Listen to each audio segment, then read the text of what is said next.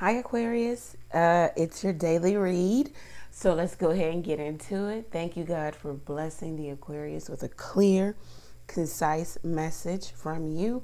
Let's see what the universe wants you to know. All right.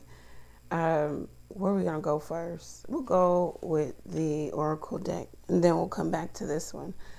Um, so let's see what the universe wants you to know. All links are below if you need to get in contact with me, Aquarius.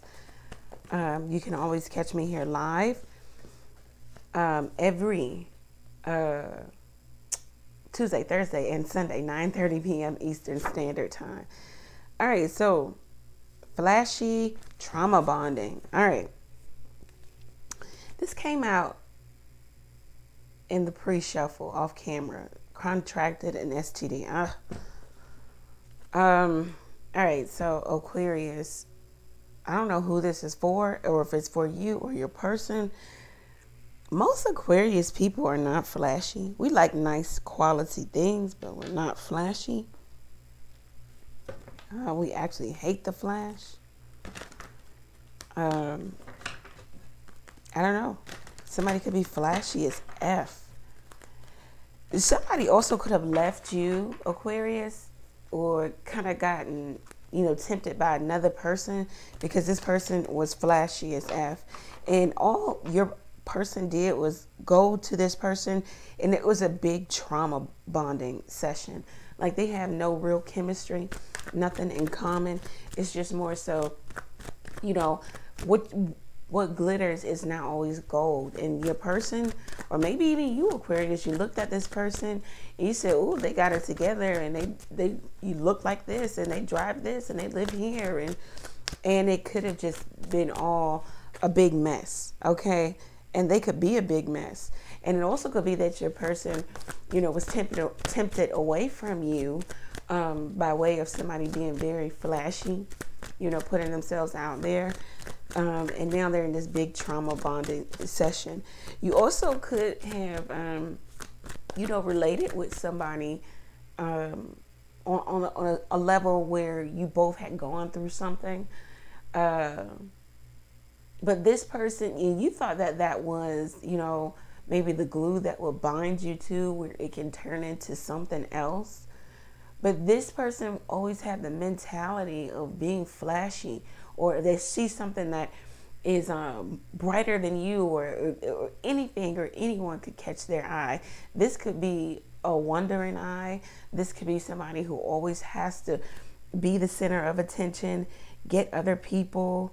Um, yeah. This could be somebody who is um, need, needs to be the center of attention, always having other people. Is there something behind this? There is. All right. So your person could be flashy as F, okay? You can't keep steady work. I knew it. Um, now, it could be that they cannot keep a steady job, you know, um, or, or they bounce around. Now, this card sometimes comes out when you're dealing with a person who cannot keep steady relationships. They like to have multiple relationships here because then they don't have to be real genuine with any of them. They also do not have to gain uh, real genuine feelings for in either one of them uh, because um, they have so many. It's a, a, multitude. They can bounce from one to the next to the next. This is also a person who could be like piss poor morally, no value, no value system. They do not value relationships. They do not value romantic connection. They just don't see the value in it, maybe outside of having sex and, and a little fun. Outside of those two different things, those two things, they don't really see the value of connection, caring connection. So you could be dealing with somebody who has the mentality of them just being like anything that any and everybody can attract this person.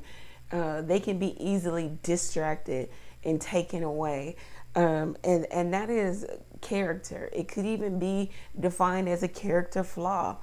Um, this would be a woman who is always going to the highest bidder, you know, uh, who has more money.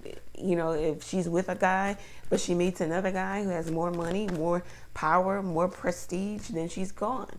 And this would be a guy who could be, you know, hanging out with a girl and it could be, you know, a, a decent connection between the two of them. But if some other woman walks by, comes into his life, who's maybe prettier, has a nicer body, nicer hair, whatever the attraction may be, then he's on that bandwagon.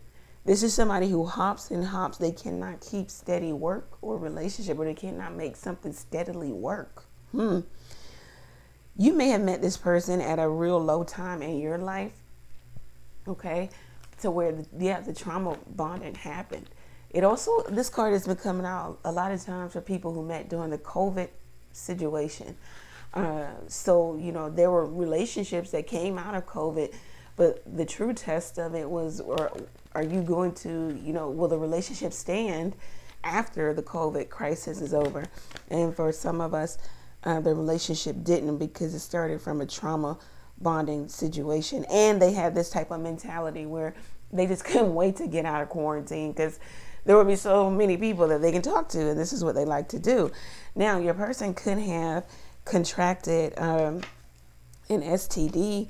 I don't know. It, it just so if this is not what has happened to your person, and how would you know, right? Unless you know. But um, if this has not happened to your person, then think about it like this: to contract something as dire as an STD. Let's let's go. Let's walk it down.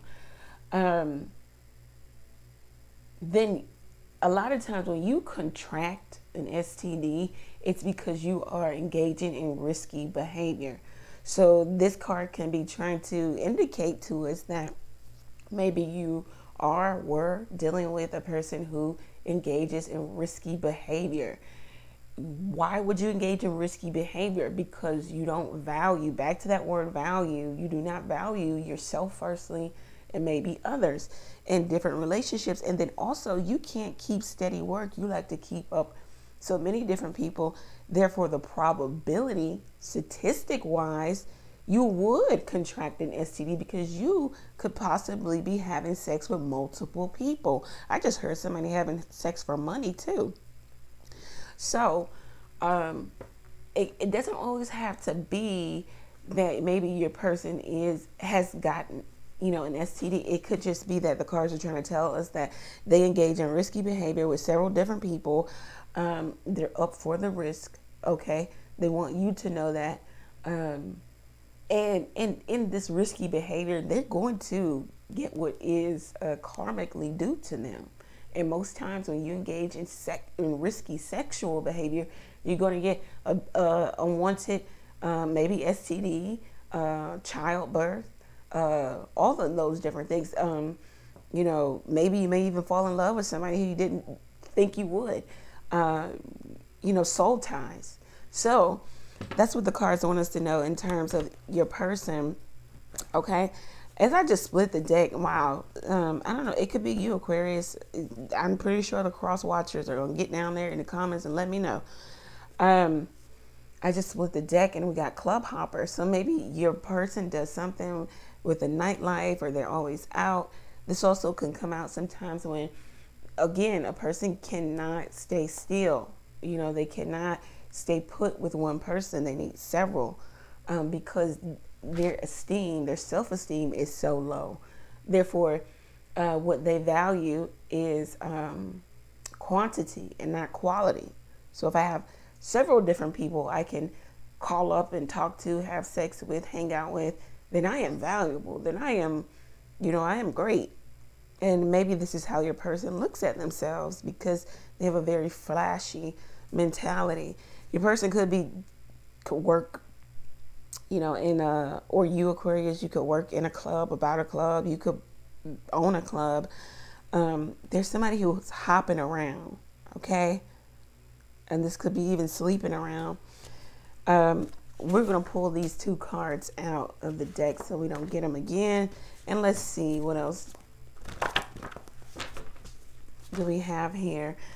So sorry to get messages like this, you know. Um, but do know all things will change um, in due time. So just keep at it in terms of staying away from this energy, doing the healing work. All different Aquarius are on different pages, different levels in their healing process. So don't get mad at the the tarot, the oracle cards when this energy is coming out because some of us are still there and we just need to respect people's um, their different path and their choice and where they are uh, because you let your person go years ago but still are watching tarot. Um, does it mean that um, the you know other aquarius have done the same? So just quietly exit out if it doesn't resonate or you don't want it to resonate okay? All right what else do we have to tell the aquarius what else do we have to tell the aquarius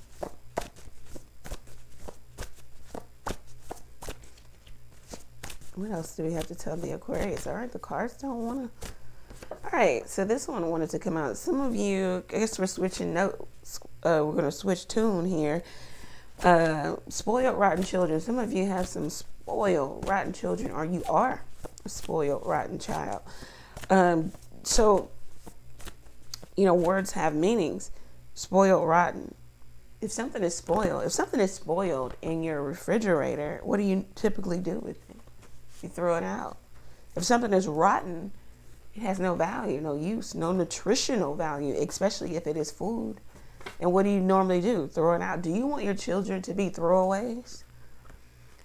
It is not fun and it's not funny to have spoiled, rotten children um, because this is what they will give to the world. This is what they will give in relationship to other people.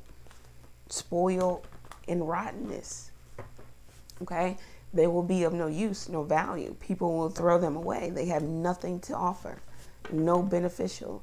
They're not beneficial at all. So make sure that you are instilling the best in your children, whatever that may be. You know, I don't know what it, but make sure that, you know, there is a, level of balance there. Okay. All right. Let's see. What else do we want to tell the Aquarius? What else do we want to tell the Aquarius? This wanted to come out. I made you fall in love with me because it was fun. Sorry. Yeah, and we see that with that flashy mentality. They and um this this is not a person who can um this is not somebody you want to settle down with. They are not going to settle down in the first place. They're it's not within them. It's not within them. They can't do it. Um maybe this was just a big lesson for you Aquarius. What else do we want to tell the Aquarius? Okay, these wanted to pop out. Wow. The dynamic has changed. Now someone can't get over you or you can't get over someone, Aquarius. I, you cannot make this stuff up. The cards just come and confirm it. I don't value. Shh. Yeah, they don't value anything. Period. They do not value anything. If you think you're the first person that they took advantage of, made you fall in love with them because it was fun, then you're as I don't know, you're more naive than they even thought. Um, this person doesn't value anything, and that was like the key word, you know, earlier in the reading. This person just their value system is messed up. Um, and that's because they are messed up in terms of their, you know, their psychology, and their self esteem. Um, they could have been a spoiled, rotten child or are spoiled, rotten child. They just don't have anything that's truly valuable to give. Um, they don't even find themselves valuable. That's why they hide behind maybe a lot of flash and fast living, fast talking. Um, this is not a person who's going to stop and smell the roses. That would actually make them put them in a place where they don't actually have to smell their shit, their own shit, and they don't want to do that. It's it's better to keep going and and not process. Lastly, what do we want to tell the Aquarius? Unhappy marriage. If you were dealing with someone who was coupled, they were unhappy. They made you fall in love with them because it was fun. It was something to do Guys, keep in mind a lot of times these third party situations, especially when you are the third party to a marriage or to a long term relationship, you are fun. You are excitement. You are you are a breath of fresh air. You you are holding this unhappy marriage together. because if you weren't there, they would be unhappy, maybe even miserable, and then they will possibly wake up and say, let's divorce. But since you are there as a third party, this person has an outlet, a fun, adventurous, um, sneaky outlet that allows them to rest in unhappiness uh, easy. It allows them to rest in unhappiness easily. Like now, I can cope with the fact that I don't like my wife or I don't like my husband because I know on the weekend I'll go and see my girlfriend or my side person, whatever they call you. So keep in mind, a lot of times as a third party, you are doing nothing but holding an unhappy marriage together. And if you do have a third party in your marriage, that third you should the third party should be billing you. You should receive an invoice because that party is keeping you keeping you uh, in this marriage that clearly you don't want to get out of. Um, I mean, I can go on and on about that, but um, yeah, this is what I have for you, Aquarius. I'm sorry the message wasn't better. Should we? Okay, let's see if we can leave the Aquarius with um, a word of advice. I heard that it, it's going to be shifting gears. So whatever these cards are going to say, it's going to be completely different from what's going on here. All right, so what do we want to tell the Aquarius in terms of, excuse me, in terms of advice? Queen of Swords, yeah. Um, Queen of Swords, she's the executive of her life. So if you're an executive, you make decisions, right? For for um, everything that's going on, the lay of the land, everybody. So you need to scour over your life and, and make a decision in terms of what is not bringing you value, what is not valuable to you. Understand that you want newness, and understand that you can't take old into new. Um, it's the it's like saying you want a new house. I want a new house. I want a new house. I want a new house, and then you get the new house, and then the movers come on moving day, and you're like, yeah, okay. So I would like to, um, I would like you guys to pick this house up off the foundation, and somehow put it in my new house. It's just not possible. So you're going to have to really let it go. Let the old house go. Let the old relationship go let the madness, the drama go. And then go into newness. Yes, it's going to be scary. Yes, you don't know what's wrong with a new house. Yeah, you got an, an inspection, but it only takes living in the house to find out, you know, what's really wrong with it or maybe nothing is wrong with it, um, or maybe it's on the other side of town. You've never lived on that side of town, or it's on the other side of the world. I've never been on the other side of the world. Whatever it is, Aquarius, make the decision so that you can have newness, so that you can have something better. Okay. It also talks about getting, make sure you get counsel, trusted counsel. Okay. Um, what else do we want to tell the Aquarius? The Empress, wow. Earth Mother is working with you to bring about abundance, um, your wishes, your dreams. Okay. Um, there's a, a high manifestation period for you. Something is going to come into the physical for you. It's time. But the universe wants you to get to a place of acceptance too. Um, stop looking backwards. Do all that you can do uh, in order to move forward. It's funny, these both of these cards, the Queen of Swords talks about, um, most times the Queen of Swords, she dresses very well, she's very sharp, she speaks well, and um, she most times she looks like royalty. And then the Empress sits on a throne that she built out of nothing, out of wilderness.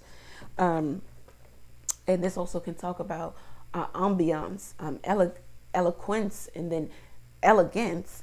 Um, it can talk about just um, really um, coming into your own, whatever that may be for you. Okay.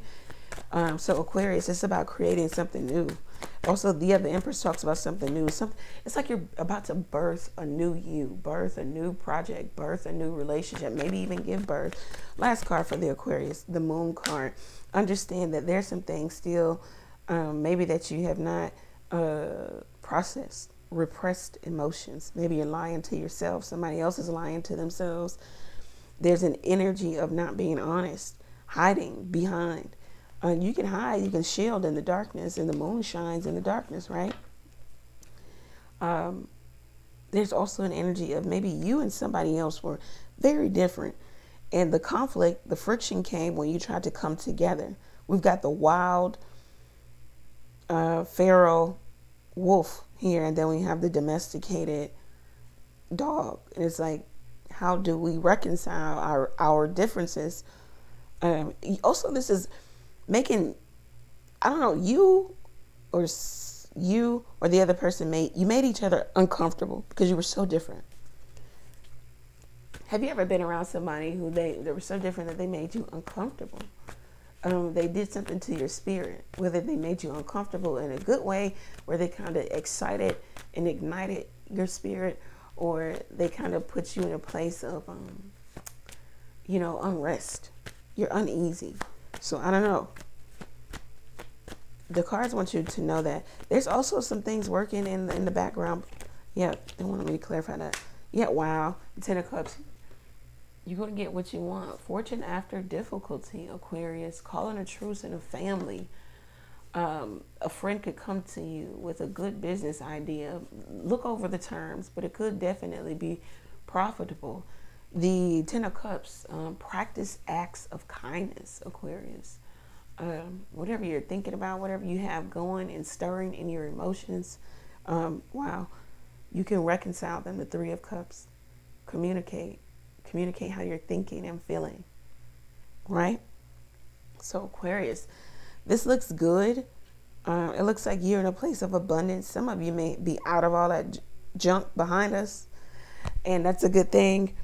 Um, so yeah, you may be in a place of abundance and you're out of all this junk.